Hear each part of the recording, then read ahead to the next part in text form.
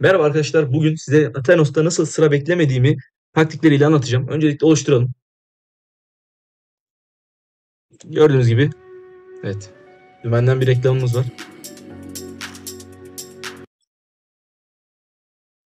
Evet, reklamı da kesmedim. Yani bir kesme falan olduğunu zannetmeyin diye. Gördüğünüz gibi bir dakika bile beklemedik. Aslında 3 yıl önce de bu bekletme sorunu vardı. Sonra biz bunu çözmüştük. Daha sonrasında Atenos da bu bekletme işini tamamen kaldırmıştı, tekrar getirmiş. Ondan dolayı biz de yeni bir video çekmeye hazırlandık. Şu an taktiği anlatacağız. Ama bu noktadaki önemli nokta şu ki videoyu tamamen izlemeniz lazım. Sonra tekrar bizimle birlikte yapın. Çünkü buradaki en ufak bir hatanızda sunucunuz tekrardan 100 dakika bekletmeye, 50 dakika bekletmeye geri dönebilir. Bu problem e, sunucunuzu tekrardan çöp edebilir yani. Böyle bir risk var. Şimdi gösterelim. Öncelikle şunu söyleyeyim. Eskiden e, uyguladığınız şu taktik işe yaramaz. Yani şunu hiç denemeyin. Boşu boşuna sunucuyu tekrardan 100 dakika bekletecek bir hale getirebilirsiniz. Şimdi elimde 47 dakika bekleten bir sunucu var gördüğünüz gibi. Bu sunucuyu sadece VPN açarak e, daha hızlı bir şekilde bekletmesini sağlayamayız. Bunu göstereyim. Daha hızlı geçmesini sağlayamayız.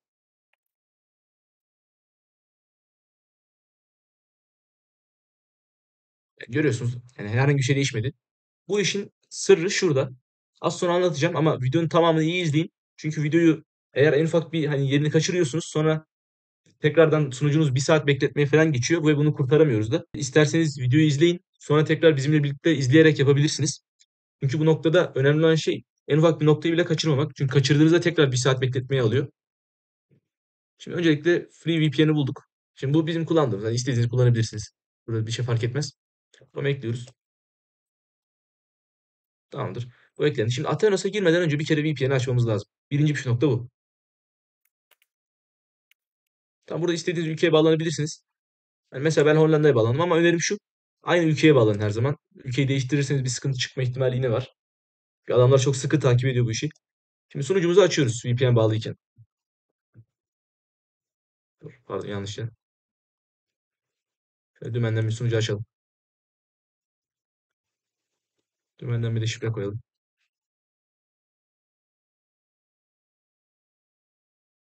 Tamam. Şimdi VPN ile buraya girdik. İsterseniz şu da var. Opera GX indirebilirsiniz. Bunun iyi yanı şu. VPN'i kendisinden olduğu için VPN'siz bir şekilde Athenos'a girmek gibi bir riske girmezsiniz. İndireyim. Göstereyim isterseniz.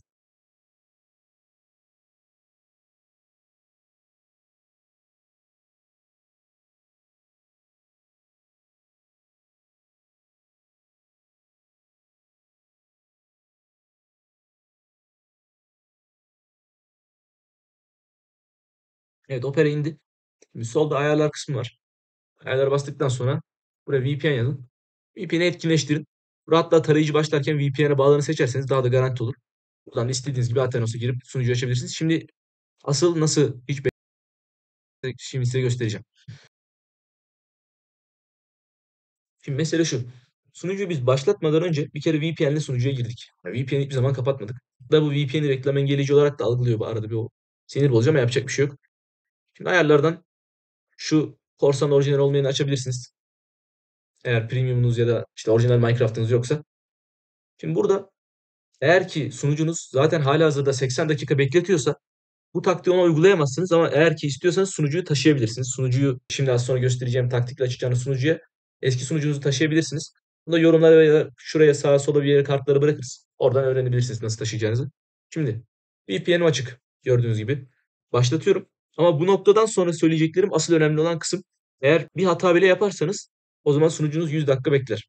Şimdi şöyle VPN açıkken bir kere başlattım. Şu arada bir yukarıda bir şeyler geliyor. Bunları doldurmayın. Direkt iptal diyeyim. Bu sanırım VPN'le kaynaklı.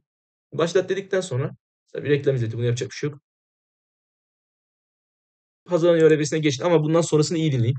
Şimdi bu noktadan sonra millet bize yorumlarda yazıyor hani abi olmadı 100 dakika tekrar bekletiyor. Başta aslında hiç bekletmiyordu sonra bekletmeye başladı 50 dakika bekletiyor falan.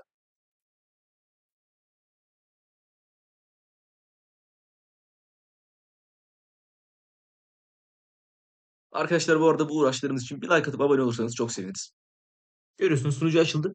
Şimdi her istediğinizde sıra beklemeden açmak için önemli olan nokta şu. Eğer ki VPN'iniz açıkken bunları yaparsanız bir sorun yok. Ama VPN'iniz kapalıyken herhangi bir değişiklik yaparsanız sunucu. Mesela ayarlara basmanız bile bu noktada sıkıntı yapar. Bakın kapatıyoruz. Şu an VPN kapalı.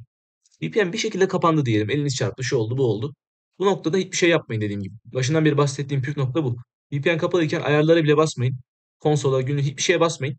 VPN'i geri açıp ne yapacaksınız ondan sonra yapın. Çünkü Atheros bunu anlıyor. Ondan dolayı aslında VPN taktiği eskiden işe yarıyordu şimdi yaramıyor. Çünkü arada VPN değiştirdiğinizde bunu anlıyor ama bu işte işin püf noktası da bu. Bir şey değiştirmiyor. Şu an ayarlara bastım. Niye? VPN açık. VPN kapalıyken mesela yaparsak ne olacak onu göstereyim. Öncelikle durdurayım. Server durdu. Şimdi VPN'i kapatıyorum. Bakın tek yapacağım şey şu. Ayarlara bastım.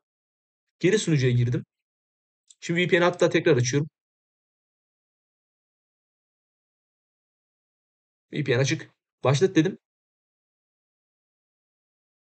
Gördüğünüz gibi tekrardan 46 dakika sıra bekletiyor. Yani bu işin sırrı VPN'i hiç kapatmamak. Kapattıysanız da herhangi bir değişiklik yapmadan hemen geri açmak ya da şansınıza kapandıysa falan. Hatta isterseniz eğer ille de VPN'i kapatacaksanız şöyle de yapabilirsiniz. Mesela VPN'i kapattıktan sonra Athenos'u da kapatın. Hatta daha öncesinde Athenos kapatın. Sonra Google'u tekrar açın. Bu şekilde. Sonra Athenos'a girmeden önce VPN'i tekrar açın.